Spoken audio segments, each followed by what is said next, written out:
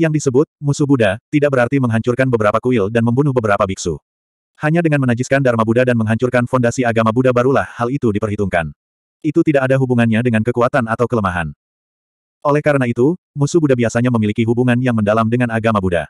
Beberapa dari mereka bahkan adalah praktisi agama Buddha. Hal ini terjadi pada Bodhisattva Tulang Putih dan Mahesvara.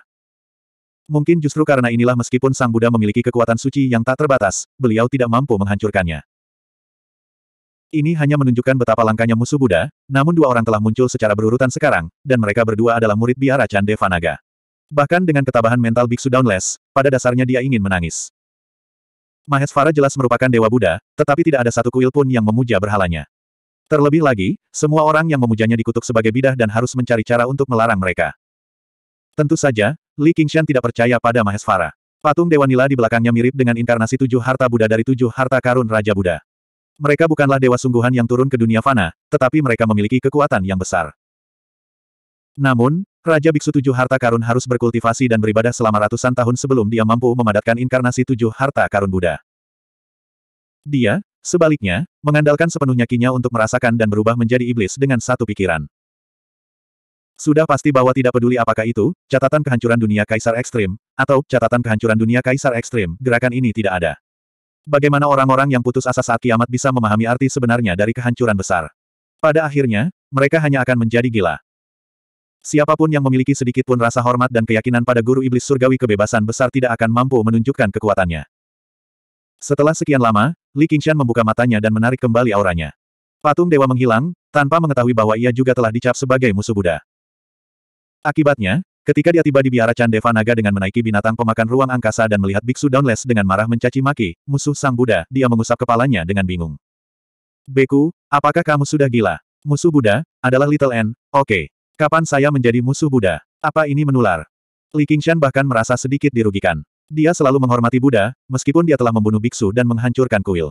Sekarang, kamu ingin menghancurkan dunia, tapi kamu tidak bisa memfitnah saya seperti ini. Alarm di kuil berbunyi dan semua biksu tampak sedih seolah-olah bencana besar akan menimpa mereka. Berdasarkan pengalaman masa lalu, tidak ada hal baik yang akan datang dari kedatangan orang tersebut.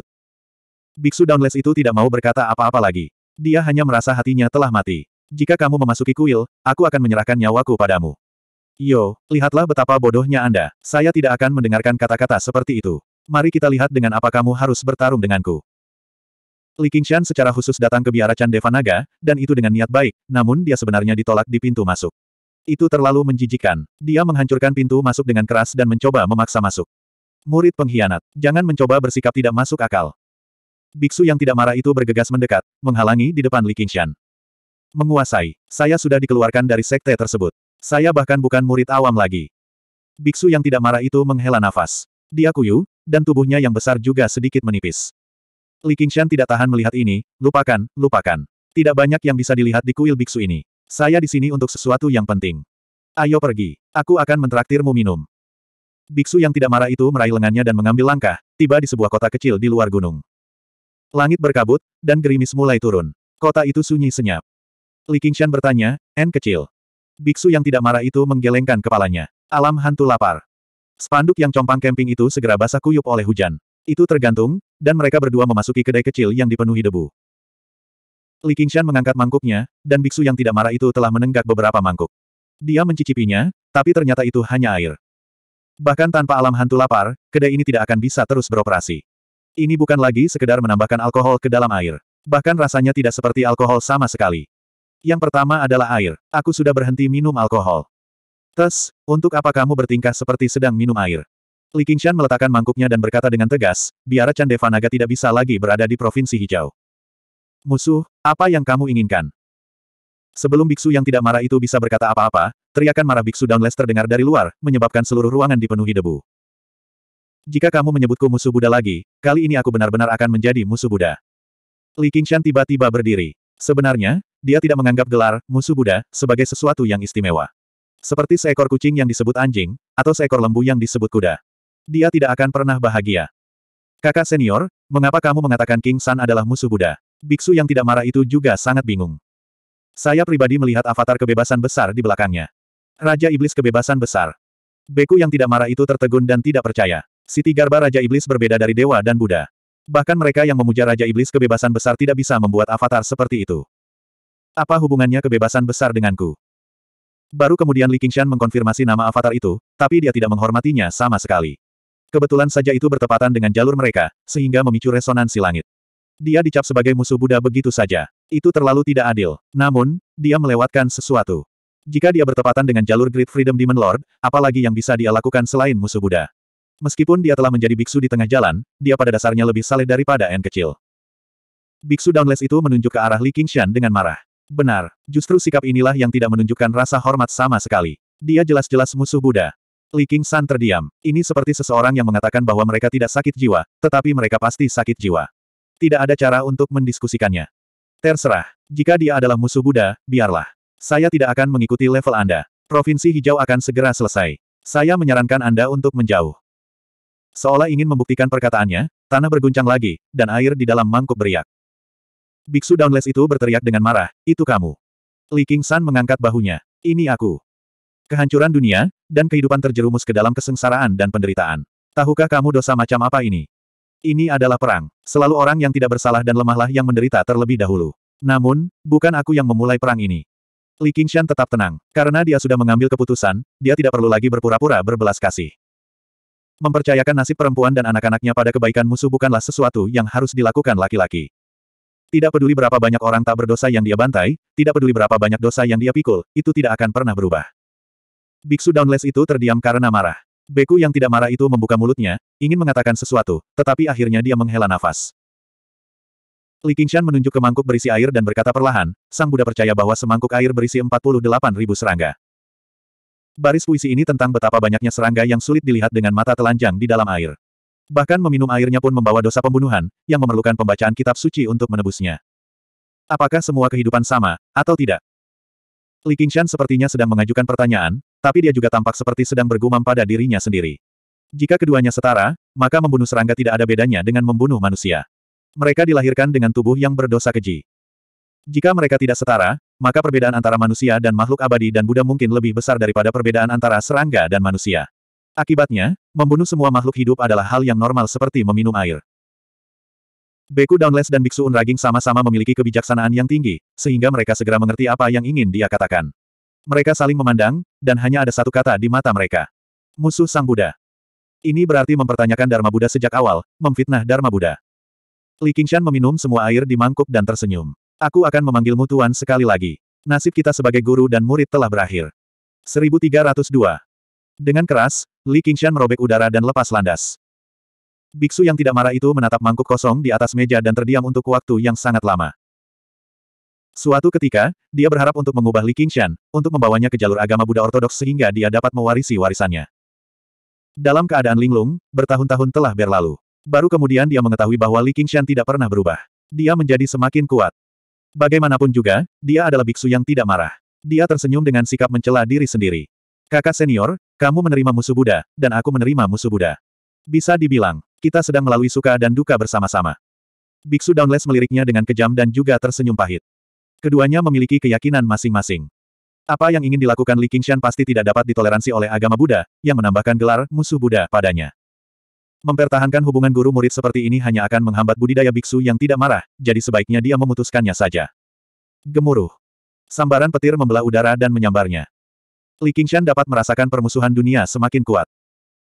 Bahkan para kultivator pun akan gemetar ketakutan ketika dihadapkan pada kehendak surga yang tidak jelas, namun ketika dia mengingat situasi di dunia mini, dia menjadi semakin dipenuhi dengan perasaan yang luhur. Bertarung melawan surga dan mengadu nyawa dengan takdir adalah kebahagiaan yang tak ada habisnya. Dia kembali ke punggung si kecil gemuk Deep Blue dan terus melahapnya. Dia telah membuat lembah besar di luar biara Chan Devanaga. Tak lama lagi, tempat ini tidak hanya terkena dampak gempa susulan. Kemungkinan besar tempat ini akan menjadi epicentrum gempa. Li King memikirkan sesuatu. Dia menyatukan jari-jarinya seperti pedang dan menunjuk ke tebing di kejauhan. Sebuah pukulan horizontal, sebuah pukulan vertikal, sebuah kail. Pada akhirnya, dia bahkan menggambar sebuah lingkaran. Setelah mempelajarinya dengan cermat, dia mengangguk puas dan menunggangi binatang pemangsa luar angkasa sambil tertawa terbahak-bahak. Beku Downless dan Beku yang tidak marah kembali ke biara. Dari jauh, mereka melihat sebuah kata besar yang terbentang beberapa ratus meter di permukaan tebing, hancurkan. Bahkan ada lingkaran memutar di sekitar kata, hancurkan. Biksu Dauntless itu benar-benar marah, tapi saat dia memandangi lembah besar di luar dan merasakan gempa bumi yang semakin sering terjadi, dia sudah memutuskan untuk mendengarkan saran Li Qingshan dan meninggalkan Provinsi Hijau, tempat yang penuh masalah. Melahap, mencerna, dan menghancurkan. Binatang buas yang melahap ruang angkasa itu mengamuk di tanah tandus. Dalam kiamat yang dia ciptakan secara pribadi, Li Qingshan bisa merasakan keinginan kehancuran besar dan kehancuran besar lebih dalam lagi. Rekor kehancuran dunia raja tertingginya berkembang setiap hari. Gong Yuan juga mengucapkan selamat tinggal padanya, kembali ke jurang lautan untuk mengkonsolidasikan keuntungannya dari beberapa hari terakhir sehingga dia bisa mengubahnya menjadi budidaya dan mencapai tingkat berikutnya. Mereka bukanlah pria atau wanita yang hidup di dunia biasa. Tidak mungkin mereka bisa bersama siang dan malam. Di lautan luas, awan putih dan anjing abu-abu, waktu selalu berlalu sangat cepat selama bercocok tanam. Li Qingshan tiba-tiba mendapat ide. Dia merasakan sedikit kegelisahan, jadi dia membuka matanya dan berdiri, merasa sedikit bingung. Pasalnya, Kegelisahan itu bukan berasal dari dirinya sendiri, melainkan dari sumber lain. Sebagai hasilnya, dia menggunakan metode penindasan laut dari penyuruh. Dia menenangkan hatinya dan mulai menyimpulkan. Penyuruh dilahirkan dengan kemampuan bernubuat. Setelah membentuk dunia di dalam tubuh mereka, kemampuan ini juga meningkat. Tak lama kemudian, mereka menangkap peluang. Dengan lambaian tangannya, dia memanggil sepotong cangkang mendalam milik penyuruh. Itu diselimuti kabut, dan pemandangan yang tak terhitung jumlahnya melintas, tetapi tidak jelas dan tidak mungkin untuk dilihat dengan jelas. Seperti kata pepatah, rahasia surgawi tidak dapat diduga. Bahkan penyuruh sejati pun tidak bisa mengetahui segalanya, apalagi orang yang mencoba-coba seperti dia. Tanpa informasi apa pun, sangat sulit baginya untuk mendapatkan hasil yang akurat. Hanya jika menyangkut kehidupan atau kematiannya sendiri barulah dia dapat merasakan segala sesuatunya dengan lebih akurat. Dia menenangkan dirinya dan perlahan menyapukan tangan kanannya ke bayangan cermin. Dia membelah kabut tebal, dan wajah cantik muncul. Hei, Tang! Li Qingshan menatap wajah cantik itu. Bukan saja tidak terkikis oleh waktu, tapi bahkan lebih indah dari sebelumnya. Sepasang mata yang menyerupai bunga persik menatapnya melalui cermin.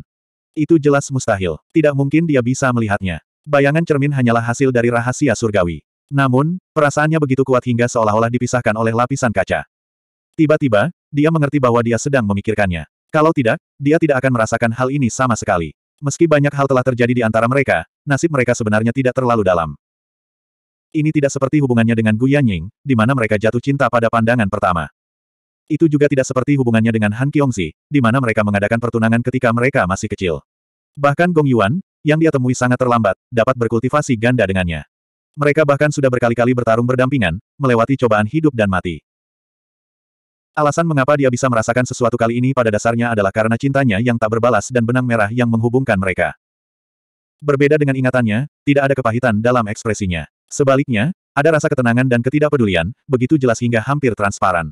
Dia sama sekali tidak tampak seperti wanita menyedihkan yang tergila-gila dengan cinta. Sebaliknya, dia tampak seperti seorang biksu yang tercerahkan. Dia tidak berbicara tentang perpisahan, tidak berbicara tentang kuyu, hanya tentang kerinduan. Bahkan dia tergerak. Bayangan cerminnya juga beriak. Hanya ketika dia menenangkan diri dengan tergesa-gesa barulah riak-riak itu mereda. Dengan ketabahan mentalku saat ini, aku masih fokus pada metode penekanan laut penyuruh, namun pikiranku sebenarnya terguncang. Itu sulit dipercaya. Cintanya begitu dalam, sampai sejauh ini. Inikah yang mereka maksud dengan, ketulusan bisa menggerakkan metal dan rock. Bahkan kaum merfolk yang tergila-gila dengan cinta pun tidak bisa begitu keras kepala. Bukan berarti dia adalah seorang wanita fana, yang tidak dapat hidup tanpa seorang pria. Jelas ada jalan yang jauh lebih luas dan tinggi di depannya, lalu mengapa dia harus terjebak oleh cinta? Han Qiongzi pernah menyatakan bahwa dia menyukai penampilannya yang berani, rajin, dan tidak terkekang. Ini juga alasan mengapa dia mengagumi Gu Yanying. Ini adalah ideologi arus utama komunitas budidaya. Bahkan jika mereka menjadi mitra dalam kultivasi, jalurnya tetap diutamakan. Wanita seperti Begonia benar-benar merupakan anomali di kalangan petani. Meski mengaku memiliki harem, itu hanya karena ia ingin melepaskan diri dari kekangan dan mengejar kebebasan. Dari sudut pandang tertentu, itu juga untuk jalan setan kera. Mustahil baginya untuk benar-benar menempatkan semua wanita yang dikenalnya di istana. Mereka semua memiliki jalan dan tujuan masing-masing. Dan sekarang pertempuran besar sudah dekat, budidaya masih diutamakan. Kalau tidak, jika dia dikalahkan, dia bahkan tidak akan bisa mempertahankan nyawanya, jadi apa gunanya memiliki harem. Baru-baru ini, dia pada dasarnya mencurahkan seluruh perhatiannya pada catatan kehancuran dunia Kaisar Ekstrim. Dia bahkan tidak punya waktu untuk mengontrol klonnya, apalagi menemukan wanita. Karena dia sudah merasakan sesuatu sekarang, bagaimana dia bisa hanya berdiam diri dan tidak melakukan apa pun. Li Qingshan membentangkan sayapnya dan terbang ke udara. Dia merasakan sedikit dan tahu dia ada di barat. Meskipun dia tidak mengetahui lokasi pastinya, jelas ada pertemuan kebetulan yang membimbingnya. Dia terbang melintasi lautan dan kembali ke sembilan provinsi. Dia melewati provinsi kabut dan memasuki provinsi guntur. Medannya tiba-tiba meninggi, berubah menjadi dataran tinggi yang megah. Gunung-gunung naik dan turun, tertutup salju putih. Awan naik dan turun, suci dan tenang. Pemandangannya menyenangkan. Li Qingshan merasakan medan magnet di sini sangat kacau. Ketika awan menumpuk hingga tingkat tertentu, mereka akan memicu kilat dan guntur, yang sangat dahsyat. Banyak sambaran petir tidak turun dari langit, melainkan naik dari tanah. Mereka menari liar seperti ular, menghubungkan langit dan bumi dengan megah dan megah. Saat ini saya dilanda kemalangan. Datang ke sini pada dasarnya meminta sambaran petir. Tunggu sebentar, jangan bilang tempat ini juga dipengaruhi oleh kehendak langit, mencoba menempatkanku dalam bahaya. 1303. Rahasia surgawi sangat mendalam dan tak terduga. Mereka jelas-jelas tidak sadarkan diri, namun mereka dapat memicu pertemuan yang tidak disengaja dan memasang jebakan yang fatal. Mereka lebih kuat dari perencana mana pun. Mereka bahkan bisa membodohi pikiran para kultivator, menjadikan mereka bodoh atau gila, berjalan menuju kematian selangkah demi selangkah tanpa menyadarinya. Jika bukan karena Li Qingshan memiliki garis keturunan penyuruh, dia mungkin tidak akan memikirkan hal seperti itu. Saya tidak takut dengan kehendak langit, tapi hal terpenting saat ini adalah menemukan Haitang. Sebaiknya saya tetap bersikap rendah hati dan menghindari masalah seperti penyuruh. Li Qingshan menutup matanya dan menarik semua daemon kinya. Wajahnya kembali menjadi manusia. Ketika dia membuka matanya lagi, pupil merahnya juga berubah menjadi hitam. Ekspresinya tenang dan acuh tak acuh. Bukan hanya auranya saja, bahkan rasa keberadaannya pun melemah. Jika dia tidak memperhatikannya dengan sengaja, dia mungkin akan diabaikan. Angin melonjak dan awan melonjak di langit. Awan melonjak, membawa hujan deras dan guntur. Li Qingshan tersenyum dan melompat dengan lembut, menyatu dengan hujan lebat. Ledakan. Sambaran petir biru melewatinya dan menghancurkan sebuah batu besar. Saat puing-puing masih beterbangan di udara, rangkaian petir lain jatuh, menerangi sekeliling. Sungguh kehendak surgawi. Li Qingshan berenang menembus hujan gelap gulita seperti penyuruh di laut dalam. Hampir setengah dari sambaran petir menyambutnya. Bahkan jika sepuluh kultivator hebat bekerja sama, mereka tidak akan sekuat ini. Inilah kekuatan dunia. Namun, tidak ada satupun sambaran petir yang bisa menyambarnya. Seolah-olah bahkan kehendak misterius dari surga tidak dapat mengunci dirinya saat ini, memungkinkan dia untuk bergerak bebas melalui genangan petir. Haha, apa yang bisa dilakukan kehendak surga terhadapku? Li King San tersenyum. Sambaran petir di sampingnya tiba-tiba berputar dan menghantam wajahnya. Dia menyeringai. Tidak sakit, tapi agak canggung. Untungnya, tidak ada orang di sekitar. Hanya saja kondisi mentalnya saat ini bukanlah kondisi mental penyu. Dia tidak sengaja membocorkan auranya. Ketika dia melewati badai petir dan menemukan benang takdir itu, dia menuju ke kedalaman Provinsi Thunder. Dia melewati beberapa ribu gunung dan beberapa ratus sungai sebelum menghadapi beberapa badai petir lagi. Tiba-tiba, dia melihat kota pegunungan yang megah, seperti obor yang menyala di kegelapan. Itu terbakar sampai ke ujung dunia. Mata Li King San berbinar. Dia ada di sana, Kota pegunungan itu tingginya lebih dari sepuluh ribu kaki, dan tiga karakter terukir di gerbang kota, kota sepuluh ribu Buddha. Arogansi seperti itu.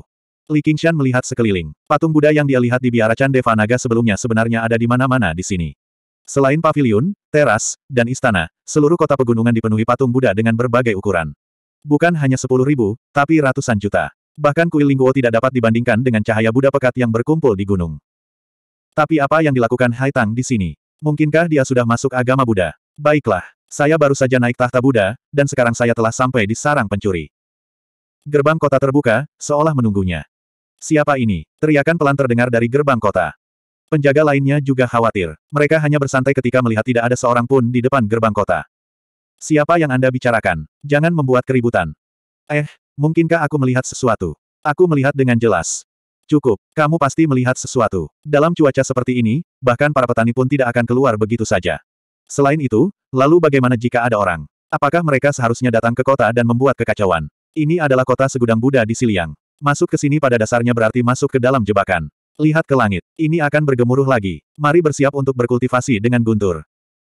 Sebelum mereka menyadarinya, awan gelap telah turun ke atas kota, bahkan menenggelamkan istana kerajaan di atas gunung. Namun, tidak ada setetes pun hujan yang turun. Seolah-olah ada sesuatu yang sedang terjadi.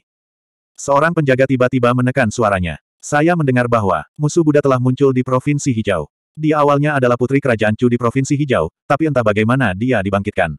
Dia mengambil alih ibu kota Provinsi Scarlet dan membantai semua orang di kota. Semua penjaga merasa merinding. Seekor monster sepertinya bersembunyi di awan gelap, menatap mereka. Provinsi Guntur selalu menghormati Dharma Buddha. Pada dasarnya semua orang memuja Buddha. Bahkan Raja Siliang didirikan oleh para biksu. Bukankah hal itu menjadikannya sasaran terbesar musuh Buddha? Ledakan. Gemuruh guntur membuat semua orang ketakutan. Kembali sadar, mereka semua mengutuk penjaga itu. Hanya ketika mereka mengganti topik dan berbicara tentang wanita barulah suasana mengerikan itu mereda.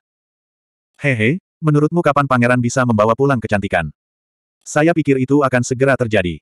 Sang pangeran telah bereinkarnasi tujuh kali, melewati tiga kesengsaraan surgawi, dan tergila-gila dengan kepala sekolah Kiyu.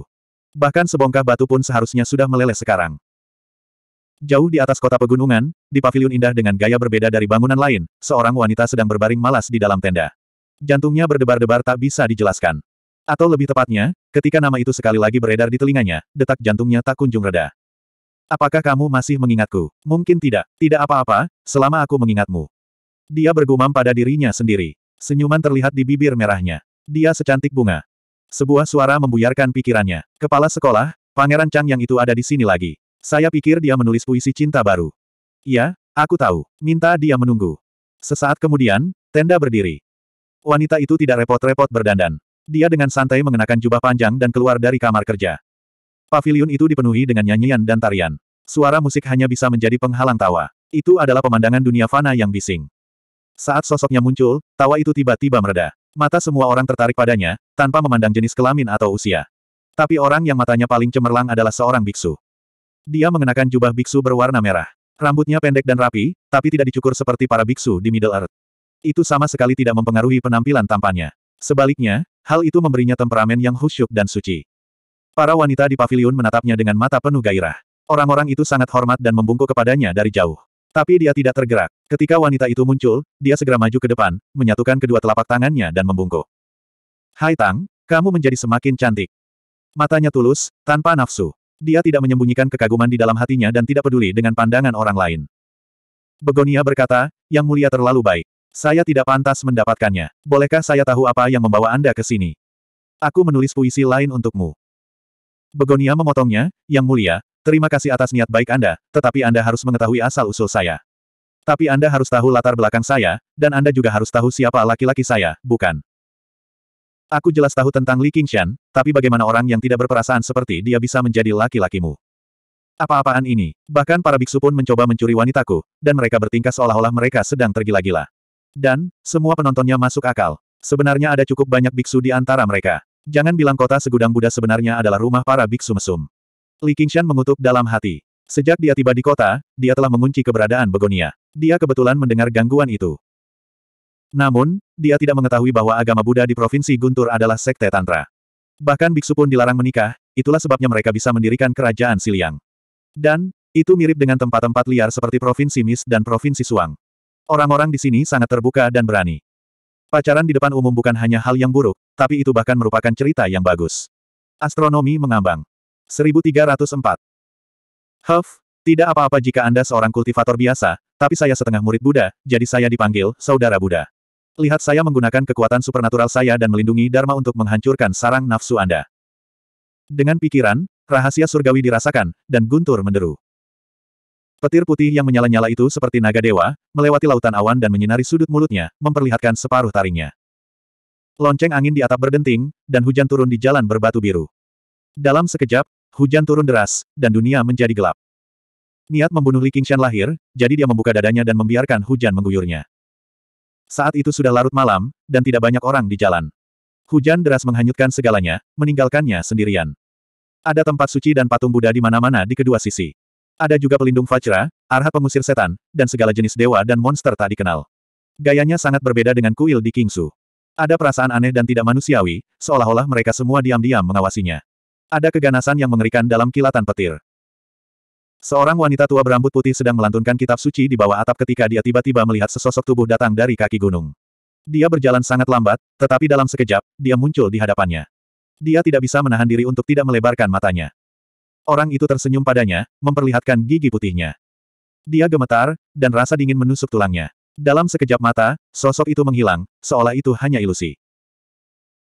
Namun senyuman itu telah terpatri dalam di hatinya, mengingatkannya pada semua patung iblis dan monster agung yang pernah dilihatnya, namun tidak satupun yang sejelas wajah manusia biasa itu. Itu seperti Raja Iblis yang keluar dari mimpi buruk, melawan dan menundukkan, menertawakan Dharma, dan menghancurkan kerajaan Buddha. Dia membalik kitab suci dengan cepat, dan mulutnya terus melantunkan mantra, tidak mampu menyembunyikan rasa takutnya. Di gedung yang terang benderang, semua orang memperhatikan dengan penuh perhatian.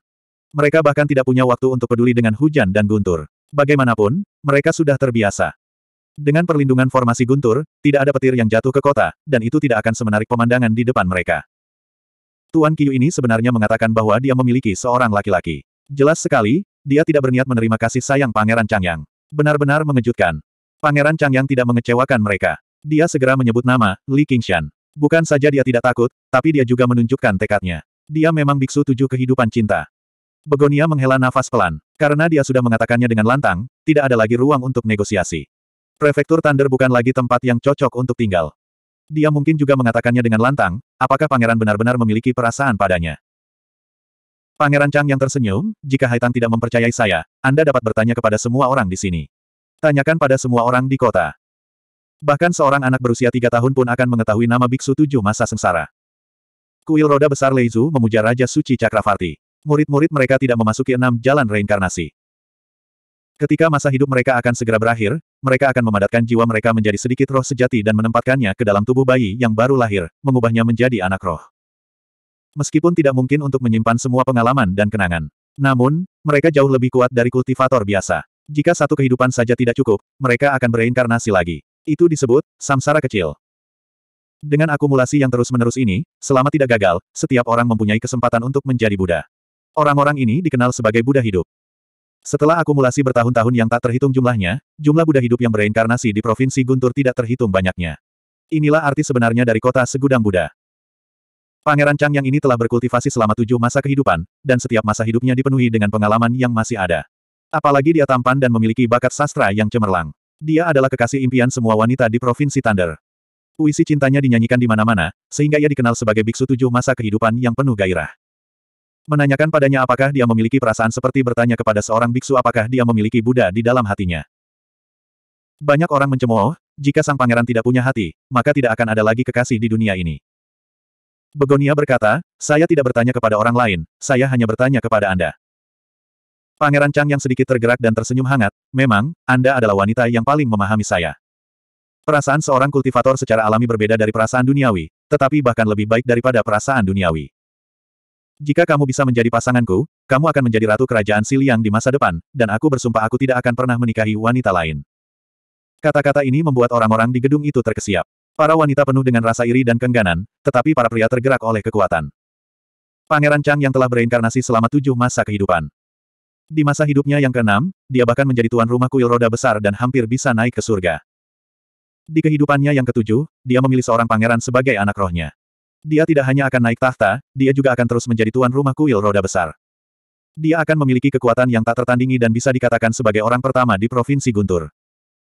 Begonia hanya perlu menganggukkan kepalanya dan dia akan berada di atas orang lain. Dengan dukungan kuil roda besar dan seluruh kerajaan Siliang, tidak akan sulit untuk melewati ujian surga ketiga. Rasanya seperti naik ke surga dalam satu lompatan.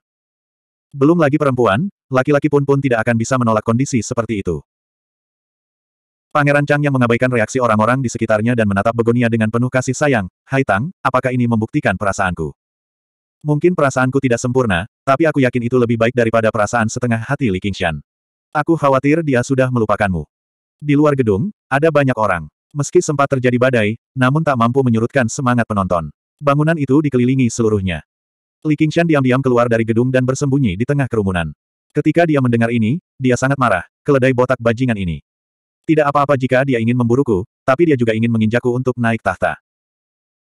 Kondisi Pangeran Chang yang memang sangat baik, namun ia tidak khawatir Begonia akan menerimanya. Jika dia berubah pikiran begitu mudah, maka dia tidak akan datang ke Leizu sama sekali. Pada awalnya, mereka tidak akan terlalu terlibat, dan mereka akan merindukan satu sama lain di tengah lautan manusia yang luas. Iya, dia mungkin sudah melupakanku. Selalu ada banyak wanita di sekitarnya, dan memang benar dia setengah hati. Tidak, mungkin dia tidak pernah begitu menghargai cinta. Begonia tanpa ampun mengkritik Li Qingshan. Dia hanyalah di antara bajingan. Semua orang merasa bahwa meninggalkan orang seperti itu berarti melakukan keadilan atas nama surga. Wajah Li Qingshan menjadi gelap, tetapi dia harus mengakui bahwa dia tidak salah menuduhnya. Dia bisa mendengar perasaan mendalam dalam kata-katanya, jadi dia mendengarkan dengan tenang.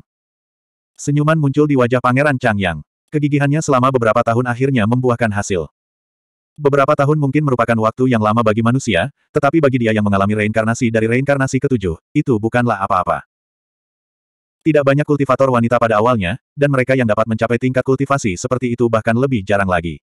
Apalagi dia terlahir dengan kecantikan dan keanggunan yang tiada taraf. Dia juga mengembangkan teknik menyihir, yang semakin meningkatkan kecantikannya hingga ekstrim. Selama dia memilikinya, dia tidak akan menaruh perhatian pada wanita biasa. Ini akan sangat bermanfaat bagi pengembangan Diana kebahagiaan agungnya. Budisme Tantra dianggap sebagai jalan luar oleh sekte lain, dan Diana kebahagiaan besar ini dekat dengan jalan setan. Hanya mereka yang memiliki kebijaksanaan dan ketekunan yang mampu mengembangkannya. Di tengah cinta dan hasrat, seseorang akan memahami prinsip Buddhis bahwa seks adalah kekosongan, kekosongan adalah seks. Pada akhirnya, seseorang harus melampauinya. Namun dia merasa memiliki hati nurani yang bersih. Ini juga memberikan manfaat besar bagi Begonia. Jika dia bisa melepaskan diri dari seks dan masuk agama Buddha, itu akan lebih bermanfaat, dan dia akan menjadi pendamping alami tahunnya. Begonia selesai dalam satu tarikan napas, berhenti sejenak, dan tiba-tiba mengganti topik, tapi apa hubungannya ini dengan saya? Apa hubungannya denganmu? Prince Chang yang wastunet. Begonia berkata, mengapa harus memperhitungkan pro dan kontra, dan mengapa harus ada keuntungannya? Aku jatuh cinta padanya, tapi itu urusanku sendiri. Jangan bilang padaku bahwa jika Buddha tidak memberimu manfaat, Yang Mulia tidak akan mempercayainya. Pangeran Chang yang cemberut, bagaimana bisa seorang penjahat dibandingkan dengan Buddha? Mengapa Yang Mulia bingung? Saya tidak berbicara tentang Li Qingshan, tapi cinta. Dalam hatiku, cinta lebih penting daripada Buddha. Tetapi bahkan jika Li Qingshan salah, dia tidak pernah meminta imbalan apa pun kepada saya, dan dia tidak berhutang apa pun kepada saya. Selain itu, dia sangat kuat. Yang Mulia, saya berterima kasih atas perhatian Anda selama ini. Saya benar-benar tidak ingin Anda terlibat dalam hal ini. Aku akan pergi sekarang. Begonia membungkuk dan kembali ke kamarnya. Baik di dalam maupun di luar gedung sunyi. Sebagai penduduk Leisu, tidak ada yang lebih penting daripada Buddha. Mereka tidak dapat menerima pernyataan ini, namun mereka tergerak. Tunggu, kamu mau ke mana? Pangeran Chang yang merasa kehilangan sesuatu yang sangat penting, dan hatinya kosong. Tentu saja, aku akan menemukannya. Begonia menoleh ke belakang dan tersenyum, tanpa penyesalan. Pangeran Chang yang bahkan lebih enggan, dan mau tidak mau berkata, dia adalah musuh kerajaan Xia, musuh Ren Huang, dia tidak akan hidup lama. Terus, Begonia terkejut. Dia tidak berpikir bahwa ini adalah masalah besar, tetapi mengingat pemikiran orang-orang biasa, dia dengan serius berkata, ya, itulah sebabnya Yang Mulia berani begitu gigih, tidak takut menyinggung perasaannya. Mengapa kamu mengatakan ini? Aku sudah menyatakan cintaku padamu beberapa tahun yang lalu. Pangeran Chang yang berkata dengan marah, tapi dia agak bersalah. Karena saat itu, dia pertama kali memastikan bahwa Li Qingshan diasingkan dari sembilan wilayah, namun dia tidak menyangka dia akan kembali. Tidak ada yang mau memprovokasi musuh yang kuat. Qiu Haitang tidak melanjutkan masalah ini lebih jauh. Baiklah, jangan marah. Jika Yang Mulia bisa menemani saya dan menjelaskan kata-kata ini kepadanya, meskipun saya telah berbuat salah kepada Anda, saya pasti akan meminta maaf kepada Anda. Kamu mengirimku ke kematianku. Bagaimana Pangeran Chang yang bisa menyetujui hal itu? Li Qingshan telah membunuh mayat kaisar dan menghancurkan kuil Lingguo. Seberapa mengerikankah kekuatannya? Seberapa kejamkah kepribadiannya? Bahkan Turtle Dragon tidak dapat melakukan apa pun padanya untuk sesaat.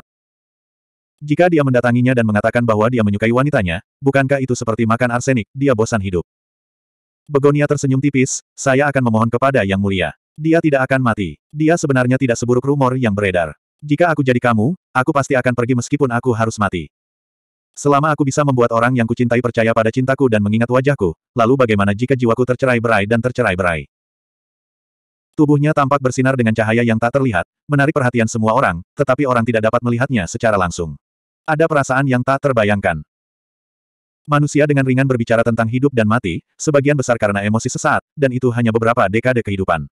Bagi para petani, itu adalah kebebasan ratusan atau ribuan tahun. Apalagi mereka akan awet muda, tidak tersiksa penyakit, dan berpeluang menjadi abadi. Jika mereka dibunuh, jiwa mereka mungkin tersebar dan mereka bahkan tidak memiliki kesempatan untuk bereinkarnasi. Sebagai seorang kultivator yang mengejar umur panjang, sungguh mengejutkan dia mengucapkan kata-kata seperti itu. Warna kulit Pangeran Chang yang berubah beberapa kali. Kali ini, Bukan saja dia tidak bisa mendapatkannya, bahkan gelar, Biksu Tujuh Kehidupan Cinta, pun akan rusak parah. Kebijaksanaan, tingkat kultivasi, dan statusnya jauh lebih tinggi daripada miliknya, namun dalam istilah, cinta, dia jauh lebih rendah. Dia merasa seperti baru saja ditampar wajahnya. Li Qingshan menghela nafas dalam hatinya, ya, wanita ini semakin gila. Sebelumnya, dia hanyalah seorang gadis muda yang tergila-gila dengan sastra dan seni, tapi sekarang dia hampir menjadi orang suci cinta. Tapi aku suka itu. 1305 Angin dan hujan suram, lampu redup, dan guntur berhenti sementara. Kiyu Haitang sedikit mengangkat kepalanya, memberikan perasaan bermartabat. Pangeran Changyang menghela nafas, Amitabha, saya mengerti, tapi saya hanya punya satu permintaan. Begonia tersenyum, Pangeran, tolong katakan. Tolong jangan menempatkan dirimu dalam bahaya. Aku akan melakukan yang terbaik untuk melindungimu. Pangeran Changyang terlihat sangat tulus dan tidak menyerah karena penolakannya. Selama dia tinggal di Thunderstead, suatu hari dia akan bisa menyentuh hatinya. Begonia terus tersenyum, Pangeran Changyang, terima kasih atas kebaikan Anda, tetapi ini adalah jalan saya sendiri, dan saya harus menempuhnya sendiri. Mungkin Anda Ananda, tapi saya bukan wanita modern. Pangeran Changyang tercengang. Ini adalah cerita yang dia pikirkan, tapi dia tidak pernah menceritakannya kepada siapa pun. Bagaimana dia tahu? Ananda adalah salah satu dari sepuluh murid Buddha. Wajahnya seperti bulan purnama, dan matanya seperti bunga teratai. Ia dicintai oleh wanita modern dan mencoba menikah dengannya, yang hampir membuat Ananda melanggar sila. Kemudian, dia mendapat pencerahan dari Buddha dan menjadi biksu. Dapat dikatakan semua orang senang.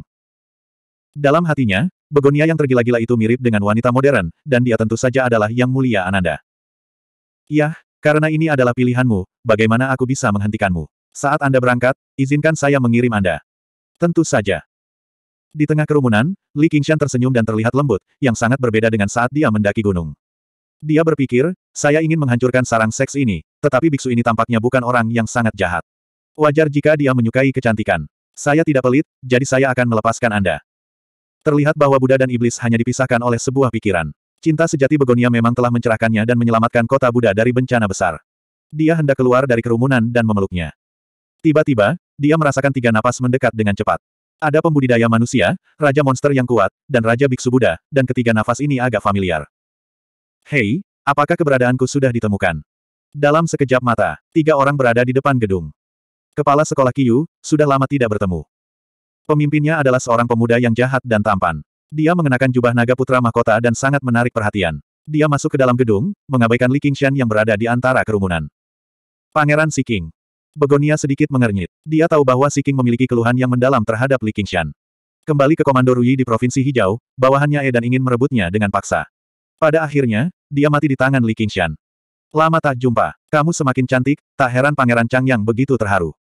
Setiap kata-kata Siking penuh dengan kebencian. Dia dikirim ke Leizu untuk membuat kerajaan Siliang menyerah sepenuhnya kepada kerajaan Xia. Ini kelihatannya mulia, tapi nyatanya, itu adalah sesuatu yang hanya bisa dilakukan oleh putra mahkota terakhir. Selama beberapa hari terakhir, dia tinggal di istana Pangeran Siliang di puncak gunung. Ketika dia mendengar kebisingan kota pada malam hari, dia merasa semakin gelisah. Sampai dia mendengar tiga kata yang tak terlupakan, Li Qingshan, kebencian baru dan lama melonjak di hatinya dan dia tidak bisa menahannya lebih lama lagi. Itu merobek udara. Yang mulia, jadi Anda kenal dengan Haitang. Pangeran Changyang melangkah maju dan membungkuk. Dia berdiri di depan Si King. Dia telah menyelidiki berbagai pengalaman begonia, jadi dia secara alami tahu tentang keluhan dan keterikatannya. Si King meliriknya. Dia tahu bahwa identitasnya istimewa, dan kekuatannya tidak kalah dengan miliknya. Dia adalah orang kunci dalam misi ini, jadi tidak baik berselisih dengannya. Saudara muda Changyang, kamu adalah Raja Biksu. Bagaimana kamu bisa begitu liar dan datang ke tempat kotor ini? Suara rendah yang terdengar seperti bel besar terdengar, menutupi guntur yang menggelegar. Master kiri menyatukan kedua telapak tangannya dan berdiri di luar gedung. Jelas sekali dia tidak mau memasuki tempat kotor ini. Siking hanyalah perwakilan kerajaan Sia, dan kerajaan Siliang menghormati agama Buddha. Guru kiri, pemimpin agama Buddha di sembilan negara, adalah tokoh inti dari misi ini. Telinga Pangeran Chang yang berdengung, seolah-olah sedang menanggung beban ribuan kilogram. Dia hanya bisa berusaha sekuat tenaga untuk bertahan, jadi bagaimana dia bisa berbicara? Sebagai seorang Buddhis, guru kiri menegurnya sesuai dengan ajaran Buddha. Itu sepenuhnya adil dan jujur, dan tidak dapat disangkal. Tuan, jangan bicara omong kosong. Sekte kami juga merupakan sekte yang telah diwariskan selama ribuan tahun. Bagaimana Anda bisa mengatakan bahwa ini adalah tempat yang kotor? Wajah Begonia dipenuhi amarah. Entah itu formula besar atau kecil atau metode pewarnaan pikiran merah, semuanya perlu diasah di dunia fana. Ini adalah metode budidaya mereka. Hehe, itu kuda pemerah pipi yang kuat. Aku sangat ingin menungganginya. Pangeran Changyang, saya tidak ingin ikut campur dalam masalah ini, tetapi karena wanita ini menyebut nama ini, saya harus memenuhi keinginan Anda.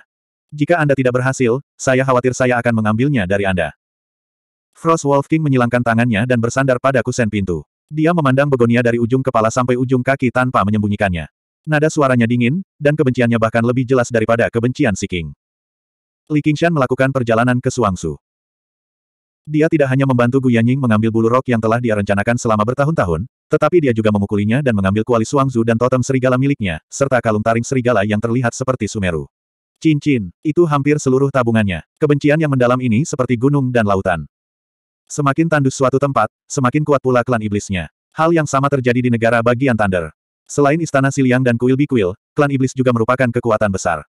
Frost Wolf King dan Thunderstead Demon King adalah kenalan lama, jadi dia juga termasuk dalam kelompok utusan. Ketiganya berselisih darah dengan Li Qingshan. Karena segala macam kebetulan, mereka datang ke kota Buddha dan mendengar nama, Li Qingshan, yang menyebabkan bencana. Ledakan. Sambaran petir melintas di langit, menyinari wajah semua orang. Ekspresi semua orang berubah. Di tengah kerumunan, Li Qingshan terkejut. T jangan bilang ini. Tas kado mewah yang legendaris. Astaga, saya berterima kasih kepada delapan generasi nenek moyang Anda. Frost Wolf King merasa sedikit tidak nyaman dengan nalurinya yang kuat. Dia dengan hati-hati merasakannya, tapi sepertinya itu hanya ilusi. Lalu dia memusatkan pandangannya pada begonia. Berdasarkan identitasnya, tidak pantas dia membalas dendam seperti ini. Tapi sejak dia menemukannya, dia tidak akan melepaskannya begitu saja. Li Qingshan, Li Qingshan, tidak peduli seberapa kuatnya kamu, kamu tidak dapat melindungi wanitamu sekarang. Tapi, petir di negara bagian guntur sungguh dahsyat. Li Qingshan juga merasakan berat dan teror dari kehendak surga. Jika penyuruh tidak merasakannya, dia tidak hanya harus menghadapi ketiga musuh ini, tetapi juga Pangeran Changyang, seluruh istana Pangeran Siliang, dan kuil Tantra Roda Besar jika dia ingin membawa pergi Qiu Haitang. Pada saat itu, ketika formasi penjaga gunung dibuka, guntur yang menggelinding akan jatuh. Di saat yang sama, dia harus melindungi Begonia. Bahkan jika dia memiliki kekuatan supernatural yang tak tertandingi, dia masih dalam bahaya kegagalan. Hehe, inilah keindahan transformasi penyu spiritual. Itu memang, penyu spiritual menekan laut. Tapi tidak apa-apa menjadi kura-kura spiritual, tapi bukan kura-kura. Li Qingshan tidak mengaum dan keluar dari kerumunan. Sebaliknya, dia diam-diam keluar dari kerumunan dan mendekati Tuan Kiri yang tak berdaya. Astronomi mengambang. 1306. Hujan deras mengguyur. Li Qingshan seperti seekor harimau di hutan, merayap ke depan tanpa suara. Tubuh pengajar kekaisaran kiri bersinar dengan cahaya kemasan redup, samar-samar berubah menjadi lonceng emas yang mengusir hujan sejauh tiga kaki. Pangeran Chang yang tertekan oleh auranya dan tidak tahu harus berbuat apa. Kedatangan Kaisar Taizu berarti negara Guntur harus menyerah. Dia tidak bisa menghadapi mereka bertiga, baik dari segi status atau kekuatan. Bahkan jika dia bisa melakukan apa pun, tidak ada seorang pun yang akan menyinggung Raja Serigala Langit, putra mahkota Siking, dan dinasti Sia besar di belakang mereka demi seorang wanita. Wajah Begonia setenang air, tapi dia tidak takut. Dia melihat cincin merah di pergelangan tangannya. Apakah semuanya benar-benar sudah ditakdirkan? Pada saat ini, Li Qingshan keluar dari kerumunan. Pengajar kekaisaran kiri tiba-tiba menggigil. Rasa dingin merambat di tulang punggungnya dan langsung ke kepalanya. Pangeran Changyang tertegun sejenak ketika dia melihat pria yang berjalan keluar dari hujan. Dia tampak seperti setetes air biasa yang kapan saja akan meleleh menjadi hujan. Dia memiliki perasaan aneh bahwa jika dia tidak fokus padanya, dia akan mengabaikan keberadaannya sepenuhnya. Begonia juga memperhatikan pria itu berjalan keluar dari kerumunan dan terkejut. Mata bunga persiknya segera tertutup lapisan kabut, menjadi semakin berkabut. Bibir merahnya bergerak seolah ingin mengucapkan ribuan kata. Sambaran petir yang dahsyat menyambar gedung itu. Petir merobek kegelapan dan seterang siang hari. Ledakan. Guntur menderu dan bumi berguncang. Pengajar kekaisaran kiri berbalik dan bertanya, benarkah? Kurang ajar kau. Li Qingshan melayangkan pukulan. Pandangan pengajar kekaisaran kiri menjadi gelap. Tangan besi memenuhi pandangannya dan menghalangi langit dan bumi. Seolah-olah ada gunung yang menekannya. Sulit untuk mengelak dan tidak mungkin untuk menolak. Iblis, beraninya kamu. Dengan suara gemuruh, lapisan cahaya kemasan keluar dari tubuhnya. Seperti gelombang pasang tak berujung di garis pantai, ia langsung mendorong budidaya seribu tahunnya hingga ekstrim. Kasaya emas bersulam merah besar di tubuhnya tiba-tiba membengkak seperti tembok laut yang tidak bisa dihancurkan. Itu adalah harta karun kuil Lingguo. Tangan besi itu menembus lapisan cahaya kemasan. Segera setelah bersentuhan dengan Kasaya, ia langsung hancur seperti kupu-kupu dan dengan lembut tercetak di punggung pengajar kerajaan kiri. Li Qingshan menarik tinjunya dan mengabaikannya. Dia melemparkan kepalanya ke belakang dan melolong panjang. Demoniki melonjak ke langit, menyebarkan hujan dan merobek awan gelap saat dia menerkam menuju Skyfrost Wolf King. Matanya berubah merah seperti harimau. Li King San. Raja Serigala Langit Beku baru saja bereaksi terhadap situasi ini. Ketika dia bertemu dengan mata merah itu, dia merasa seolah-olah dia telah jatuh ke dalam mimpi buruk. Pikirannya melonjak, dan auranya tertahan. Dia tidak bisa mengendalikan dirinya sendiri. Kenapa? Kenapa dia ada di sini? Dalam sekejap, dia merasa seolah kembali ke ribuan tahun yang lalu, saat dia masih menjadi serigala liar. Menghadapi harimau ganas yang sedang berburu, dia hanyalah mangsa yang tidak beruntung. Dia tidak bisa menahan diri untuk tidak mundur. Aku tidak bisa mundur. Jika aku mundur setengah langkah hari ini, aku pasti akan mati. Dia memamerkan taringnya dan melolong saat menerkam Li Qingshan. Itu memancarkan aura dingin. Semuanya tertutup lapisan es putih. Serigala dan harimau, embun beku dan api, taring dan cakar. Kedua raja monster itu seperti dua binatang buas yang saling menerkam. Garis-garis harimau membentuk karakter, raja, di tubuh Li Qingshan. Dia melepaskan kemarahan iblis harimau, melepaskan aura kekerasan yang menyebarkan lapisan es. Sebagai Acquired Demon, dia mengeluarkan keinginan yang bisa menghancurkan dan menghancurkan segalanya. Bahkan seekor singa pun akan menggunakan kekuatan penuhnya saat berburu kelinci. Sebuah pikiran tiba-tiba muncul di benak Skyfrost Wolf King. Aku kalah. Mereka bahkan belum benar-benar bentrok, namun keinginan mereka telah bentrok berkali-kali, mengalahkannya berkali-kali hingga dia benar-benar takluk.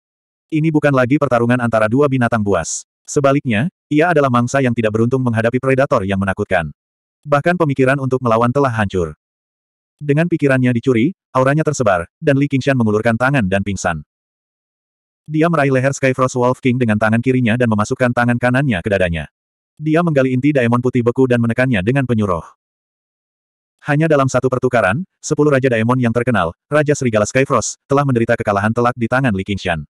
Jangankan melarikan diri, dia bahkan tidak bisa meledakkan inti Daemonnya. Sungguh nasib yang lebih buruk daripada kematian. Raja Serigala Skyfrost dipenuhi rasa takut. Mustahil. Bagaimana keinginanku, yang telah dilemahkan oleh kesulitan, menjadi begitu rapuh. Aku bahkan tidak bisa mengalahkan pria yang usianya bahkan tidak sedikit pun. Seolah dia bisa mendengar pikirannya, Li Qingshan melemparkannya ke tanah dan menginjaknya. Dia mencibir. Itu karena kamu bukan serigala. Kamu hanyalah seekor anjing. Bahkan sampah di sana itu lebih mirip serigala daripada kamu. Si King, yang disebut sebagai sampah, memiliki tingkat pengolahan yang paling lemah dan reaksi yang paling lambat. Dia hanya bergerak ketika Li Qingshan bentrok dengan Raja Serigala Skyfrost. Dia tidak menyerang Li Qingshan, dia juga tidak melarikan diri. Sebaliknya, dia menerjang ke arah begonia. Hanya dengan menangkapnya sebagai sandera barulah dia memiliki kesempatan untuk bertahan hidup. Begonia baru berada pada kesengsaraan surgawi kedua. Dia jelas bukan lawannya. Mengasimilasi. Li Qingshan merentangkan jarinya dan berteriak.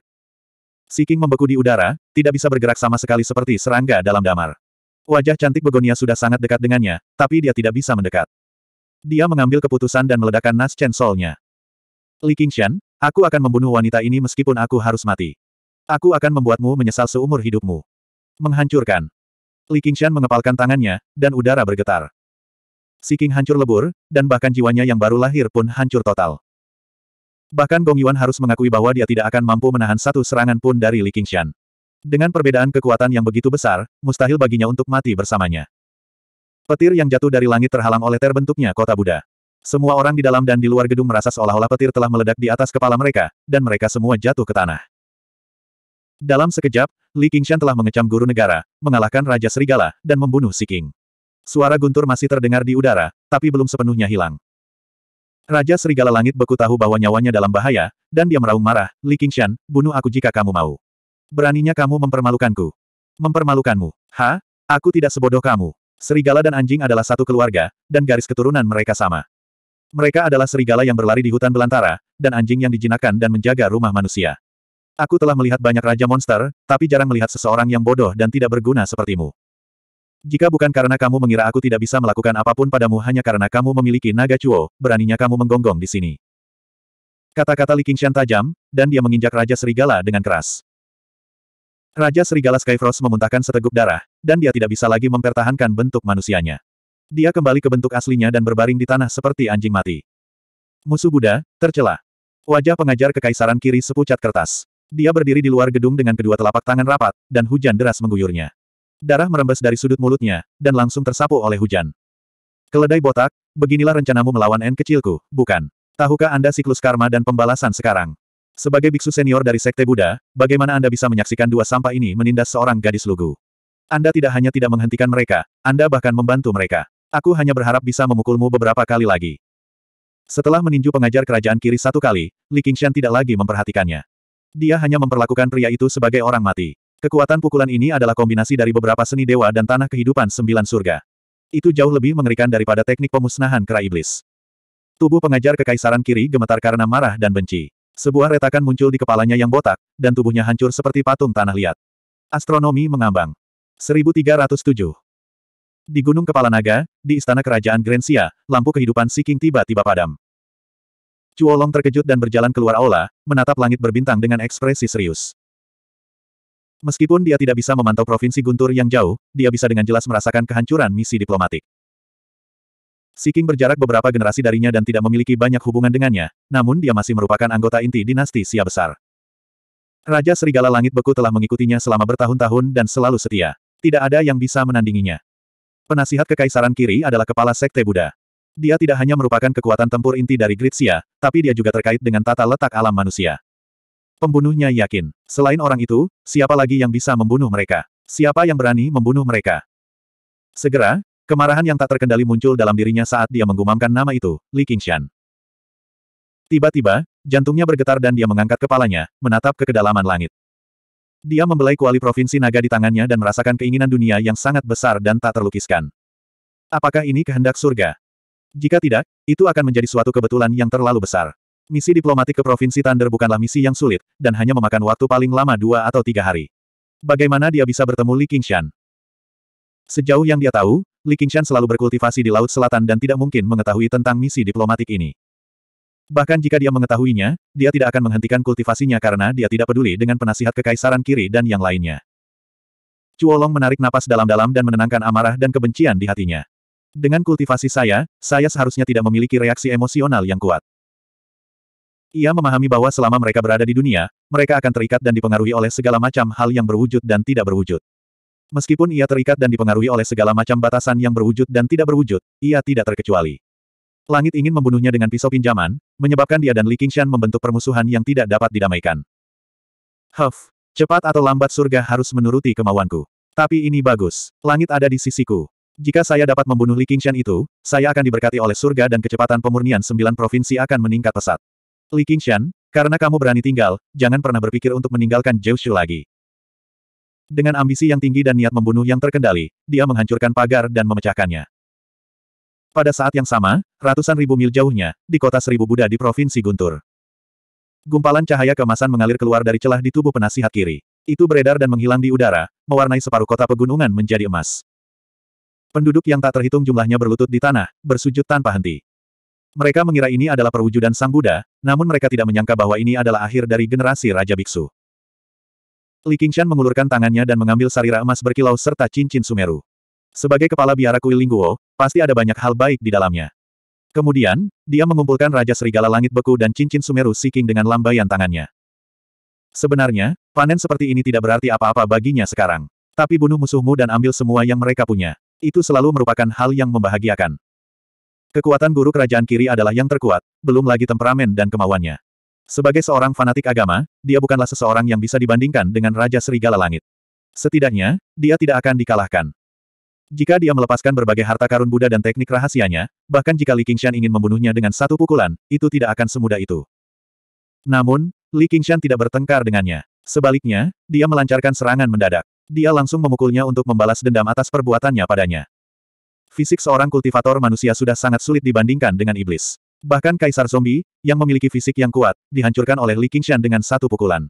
Sekarang setelah budidayanya meningkat, dia jauh lebih kuat dari sebelumnya. Tentu saja, itu bukanlah sesuatu yang bisa ditahan oleh guru kerajaan kiri. Heh, kehendak surga hanya biasa saja. Li Qingshan mengarahkan jari tengahnya ke langit. Gemuruh.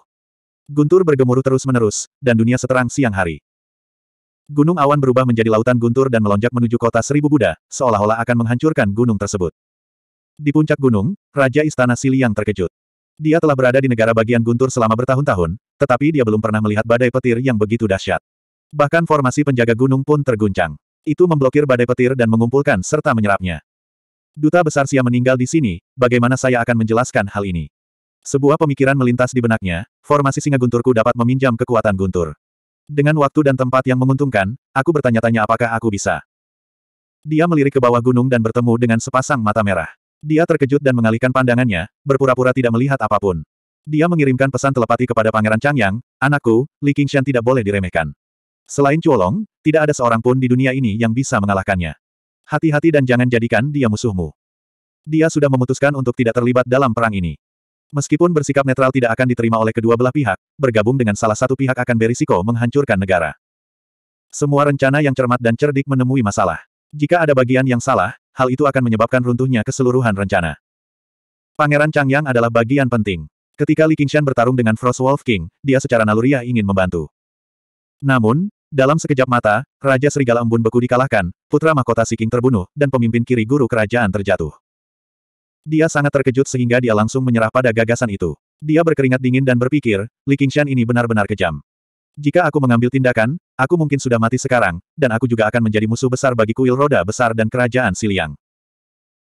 Setelah mendengarkan perkataan Raja Siliang, dia berpikir, oh tidak, saya tidak tahu apakah dia mendengar apa yang saya katakan tadi. Ribuan pikiran melintas di benaknya, tetapi tidak satupun dari mereka yang berani menjadi musuh Li Qingshan. Dia juga tidak punya waktu memikirkan begonia. Lagi pula, dibandingkan dengan perasaan pribadinya, kelangsungan kerajaan Siliang dan kuil Bikuil lebih penting. Bahkan, dia menyesal telah memprovokasi dia. Untungnya, saya tidak bersikap kasar selama ini. Saya hanya berharap dia akan memberikan kata-kata yang baik untuk saya. Hai Tang, aku menyelamatkanmu lagi. Bagaimana caramu berterima kasih padaku? Li Qingshan tersenyum dan memandang begonia yang ada di tangga. Dia juga sangat merasakan perubahan pada dirinya. Wanita seperti bunga persik ini lebih cantik dan mekar. Sosoknya masih sangat bagus, tapi dia menyembunyikan pesonanya dalam-dalam. Huff, kaulah yang menimbulkan masalah. Kenapa aku harus berterima kasih? Begonia menarik napas dalam-dalam dan berusaha keras menekan perasaan yang menggelora di hatinya. Ia naik dan turun bersamanya. Itu sangat mendebarkan. Namun, di luar gedung, kecuali Li Qingshan, tidak ada sepasang mata yang berani menatapnya. Mereka semua menundukkan kepala. Di hadapan harimau ganas ini, mereka sama penakut dan jinaknya seperti sekawanan domba. Hati Pangeran Chang yang masam. Meskipun suaranya dingin, suaranya tidak lagi terasa berada ribuan mil jauhnya. Sebaliknya, ada sedikit rasa centil. Ini adalah perasaan yang belum pernah dia rasakan sebelumnya. Sebuah bayangan menyelimuti-nya. Li Qingshan berdiri di depannya dan menepuk pundaknya, Hei, sepertinya kamu baru saja mengatakan banyak hal buruk tentangku. Saya. Hati Pangeran Chang yang bergetar. Dia benar-benar mendengarnya. Di bawah tatapan sepasang mata merah itu, bagaimana dia bisa berbicara? Baru pada saat itulah dia mengetahui kengerian besar antara hidup dan mati. 1308. Setelah tujuh reinkarnasi, dia berpikir bahwa dia tidak peduli dengan hidup dan mati, tetapi pada saat ini, dia menyadari bahwa dia tidak begitu riang. Rasa malu yang tak terkendali membuat wajahnya memerah. Dia mengangkat kepalanya dan menatap lurus ke arah Li Qingshan, ya, itu adalah kata-kataku yang tulus. Bahkan jika kamu membunuhku, itu tidak akan mengubah pikiranku. Oh, saya tidak berharap Anda memiliki keberanian. Li Qingshan sedikit terkejut. Dia menatap matanya dalam-dalam dan melepaskan keinginan kehancuran besar. Seolah-olah iblis surgawi yang riang besar berada di puncak dunia nafsu, memandang rendah semua makhluk hidup dan menertawakan kegigihan semua kultivator yang merasa benar sendiri. Tubuh Pangeran Chang yang bergetar. Dia menggigit bibirnya sampai darah mengalir, lalu dia menangis seperti anak kecil. Ditemani angin yang harum, Begonia datang dan meraih lengan Li Qingshan, Hei, jangan menakuti orang, dia tidak mengatakan apa pun yang salah. Pangeran Chang Yang, kamu baik-baik saja. Li Qingshan tertawa dan mengakui, itu benar. Dia berkata dengan penuh arti, tapi sepertinya saya tidak perlu membunuhnya, dia berubah pikiran. Wajah Pangeran Chang yang muram, dan auranya sangat lemah. Dia langsung jatuh ke alam yang luas, dan ekspresinya sangat sedih. Kegembiraan besar Zen yang dia kembangkan selama tujuh reinkarnasi telah hancur. Ini lebih menyakitkan daripada membunuhnya.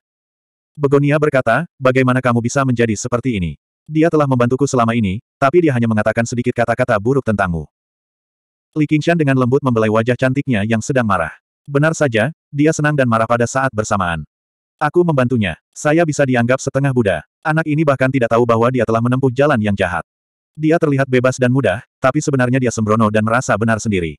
Jika dia bertemu lawan yang kuat, saya khawatir dia akan mudah dibunuh seperti Raja Serigala Skyfrost. Bahkan jika dia beruntung dan tidak bertemu lawan, dia akan jatuh semakin dalam. Faktanya, dia tidak begitu baik, tapi ketika dia mendengarnya berkata, walaupun kamu membunuhku, itu tidak akan mengubah pikiranku, itu seperti melihat seorang anak yang sombong berkata, aku tidak takut mati, jadi dia mau tidak mau mencobanya. Pada akhirnya, dia memang membual. Anak itu berkata bahwa dia tidak takut mati, tetapi dia tidak mengerti apa yang dimaksud dengan kematian. Jika tidak ada yang mengajarinya, dia mungkin tidak akan pernah mengerti bagaimana rasanya mati di jalanan karena masalah sekecil itu. Bahkan dalam kematian, dia berpikir bahwa dia tidak takut mati. Tiba-tiba, Mengki mulai memahami perasaan Raja Iblis Surgawi kebebasan besar. Terlalu banyak umat Buddha yang suka berbicara besar, seperti, lima skanda semuanya kosong, dan, bebaskan semua makhluk hidup dari penderitaan. Terlalu banyak penipuan diri narsistik yang bisa dilihat hanya dengan satu jari. Itu adalah reaksi naluriah. Qiu Haitang merasa skeptis. Benar-benar. Li Qingshan tersenyum tetapi tidak mengatakan apa pun. Dia berbalik dan berteriak, Beku, izinkan saya bertanya lagi. Bolehkah saya berubah pikiran? Pangeran Changyang berkata dengan sedih, iya. Li King San tertawa. Itu benar. Sambil mengelus dagunya, dia mengukurnya. Saya tidak tahu teknik apa yang Anda latih, tapi jarang melihat seseorang yang begitu palsu dan lemah. Secara umum, keinginan Sekte Buddha relatif kuat. Dia menaruh perhatian besar pada pengembangan pikiran. Jika itu adalah Biksu Downless, meski dia merasa takut, Biksu Downless tidak akan bisa berbuat apa-apa. Dia juga harus meneriakkan, musuh Buddha. Dia hanya memperoleh jejak aura Raja Iblis Surgawi Kebebasan Besar, bukan Raja Iblis Surgawi Kebebasan Besar yang sebenarnya. Bagaimana dia bisa mematahkan teknik seseorang dengan mudah? Melawan Skyfrost Wolf King, dia terutama menggunakan kekuatannya untuk menghancurkannya. Kalau tidak, bahkan jika dia memanggilnya, anjing tua, seratus kali, dia akan tetap memperlihatkan giginya padanya. Dia harus mengubahnya menjadi, anjing mati. Pangeran Changyang mengingat jalan yang telah dia lalui dan tidak bisa menahan keringat yang banyak. Sebenarnya Budisme Tantra paling menekankan asketisme. Sangat sedikit yang mempraktikkan Great Joy Zen karena terlalu mudah untuk mengamuk. Hanya mereka yang memiliki kebijaksanaan dan tekad besar yang dapat berkultivasi, dan dia percaya bahwa dia adalah orang yang memiliki kebijaksanaan dan tekad besar. Dia tidak pernah terlalu memikirkan para petapa itu. Sekarang dia menyadari betapa bodohnya dia. Ia menikmati kenikmatan dunia sambil berpikir bahwa dirinya tidak ternoda oleh debu. Dia benar-benar kesurupan. Dengan bakat dan pemahamanku, jika aku terus melakukan latihan pertapaan, aku mungkin akan naik di kehidupan ketigaku. Mengapa aku harus bereinkarnasi tujuh kali? Jika saya tidak dapat menyadari hal ini, saya mungkin tidak dapat naik dalam kehidupan ini. Berapa banyak lagi nyawa yang bisa bertahan pada jiwa kecilku itu? Memikirkan hal ini, dia menyatukan kedua telapak tangannya dan membungkuk dalam-dalam pada Li Qingshan. Amitabha, terima kasih telah menghancurkan kegembiraan besar Zenku. Mulai sekarang, aku tidak berani menyebut diriku, Biksu Cinta. Dia menatap tajam ke arah Kiyu Haitang dengan rasa kagum yang tak terselubung, namun dia melihat dirinya sendiri di mata wanita itu yang seperti bunga persik. Dia dengan tegas melemparkan halaman puisi cinta itu dan berjalan keluar pintu. Di tengah hujan, dia bisa mendengarnya bernyanyi dengan keras. Semua cinta akan berlalu, ketidakkekalan sulit untuk bertahan lama. Hidup penuh ketakutan, hidup dipertaruhkan di embun pagi. Cinta melahirkan kekhawatiran, cinta melahirkan ketakutan. Jika saya terpisah dari kekasih saya, tidak ada kekhawatiran atau ketakutan. Mulai sekarang, Leizu kehilangan seorang biksu cinta dan mendapatkan seorang biksu pertapa baru. Li Qingshan merenung, jadi itu adalah kegembiraan besar Zen, saya sudah banyak mendengar tentang Anda. Menariknya, setelah saya mematahkan tekniknya, dia ingin berterima kasih kepada saya. Tak heran jika Mahesvara bisa menjadi dewa agung agama Buddha. Tapi guru iblis Mahesvara yang asli mungkin tidak akan selembut saya saat menghadapi Dharma. Begitu dia tidak dapat bertahan dalam ujian, bahkan jika dia tidak mati, dia akan menjadi iblis. Saya tidak takut menjadi iblis, tetapi jika tidak ada kekhawatiran atau ketakutan, bukankah hidup akan sangat membosankan? Begonia memandangi punggung Pangeran Changyang yang menghilang di tengah hujan dan bergumam, aku melihat kegilaannya, dia tidak setulus yang dia kira, tapi aku tidak menyangka akan seperti ini. Li Qingshan berkata dengan lantang, baru saja, siapa yang berani menuduh saya secara salah? Apakah saya, Li Qingshan, orang yang berpikiran sempit? Hanya saja wanita kesayanganku dikejar, apa masalahnya? Ketika Begonia mendengarnya berkata, wanita tercinta, di depan umum, pipinya langsung memerah, membuatnya tampak cantik. Dia menggigit bibir merahnya dan berkata dengan suara rendah, aku salah menuduhmu. Karena kamu salah, kamu harus dihukum. Li Qingshan menggendongnya dan melangkah ke atas. Begonia mengerang, tapi tidak melawan. Li Qingshan tersenyum dan berbisik di telinganya, di mana kamar kerjamu? Aku tidak tahu.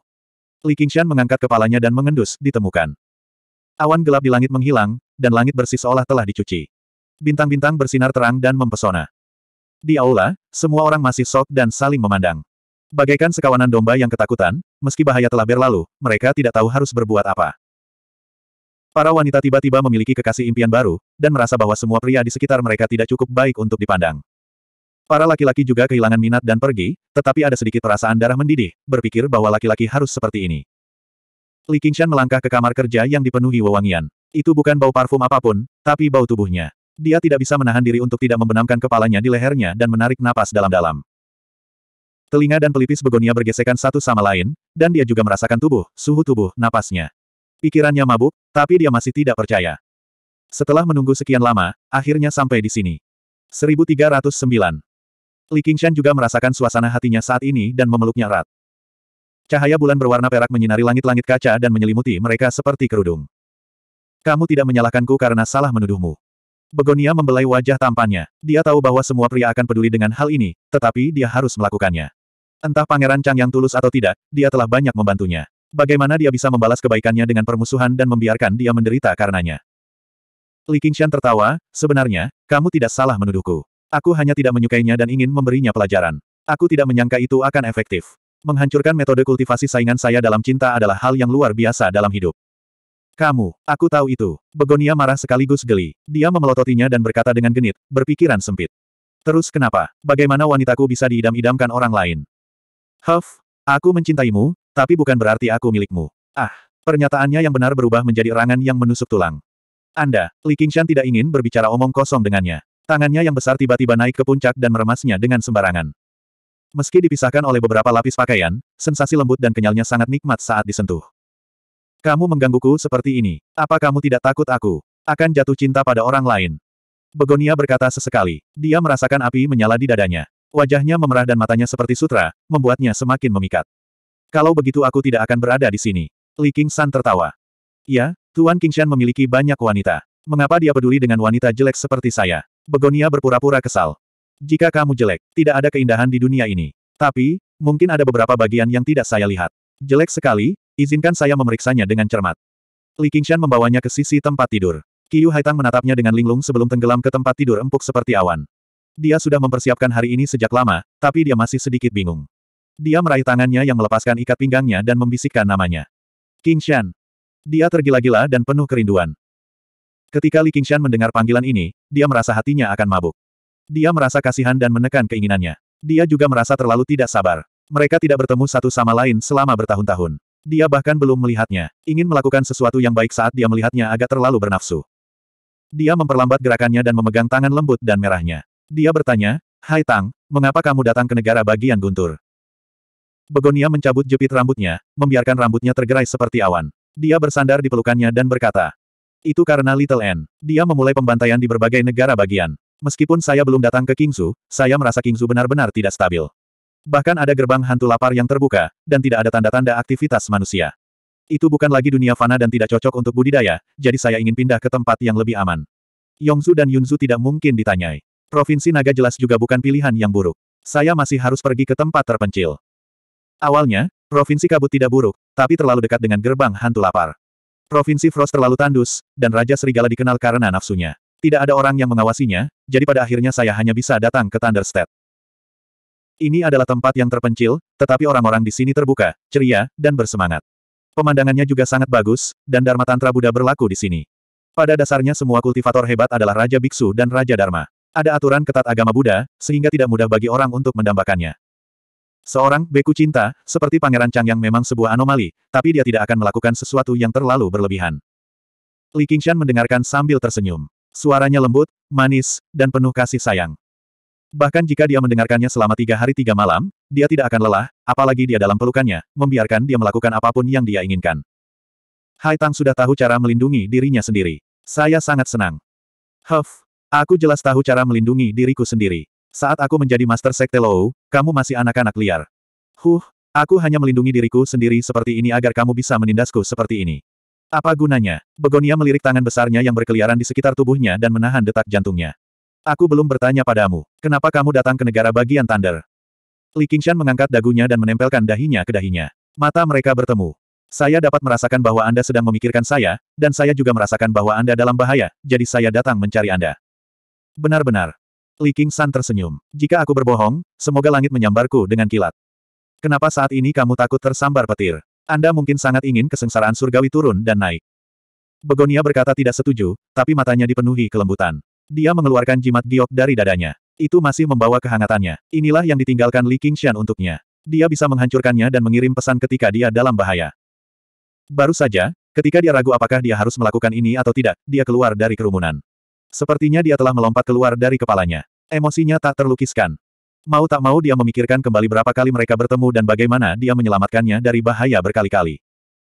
Li Qingshan sekali lagi berterima kasih atas pertanda penyuruh itu. Jika dia menunggunya menghancurkan jimat giok sebelum bergegas ke kondisi guntur, situasinya akan menjadi sangat pasif. Itu tidak akan semudah dan sesantai itu. Siapa yang tidak ingin menjadi seorang kultivator? Begonia tiba-tiba berpikir jika dia naik, dengan kultivasinya yang lemah, dia tidak akan pernah bisa mengejarnya. Di tengah rasa manis yang tak ada habisnya ini, dia merasakan sakit yang menusuk dari lubuk hatinya. Dia tidak bisa menahan diri, dan dua aliran air mata jatuh seperti hujan.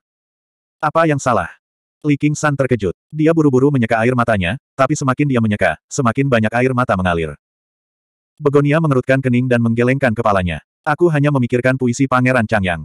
Semua cinta bertemu, ketidakkekalan jarang bertahan lama. Cinta melahirkan kesedihan, cinta melahirkan ketakutan. Kupikir aku sudah melupakannya, tapi aku tidak pernah berpikir aku akan begitu enggan untuk berpisah. Kami baru saja bertemu, dan saya sudah merasakan sakitnya perpisahan. Anda benar-benar tahu cara merusak kultivasi saya. Melihatnya seperti ini, Li Qingshan merasa kasihan padanya. Jangan dengarkan omong kosongnya. Orang-orang pada akhirnya akan mati. Apakah karena kita ditakdirkan untuk mati sehingga kita harus menderita dan berjuang setiap hari? Lalu mengapa kita mengejar keabadian? Karena takut kehilangan, kita tidak berani mendapatkannya. Kita malah berpura-pura tidak peduli dan sengaja meremehkan hal-hal berharga itu. Itu adalah seorang pengecut yang munafik. Kiyu Haitang berkedip. Apakah aku sesuatu yang berharga? Kamu adalah orang yang aku sayangi. Meskipun aku pelin-pelan, menyukai keindahan, dan jarang mabuk cinta, tapi, tapi. Saat Li Qingshan berbicara, dia tidak dapat melanjutkan. Dia memang bukan tipe pria yang mengutamakan cinta sejati di atas segalanya. Bahkan ketika dia jatuh cinta pada Gu Yanying pada pandangan pertama, dia tidak bisa melupakannya. Hanya ketika dia semakin merindukan Little N, tetapi Little N sudah seperti bagian dari tubuhnya baginya. Itu tidak ada hubungannya dengan cinta.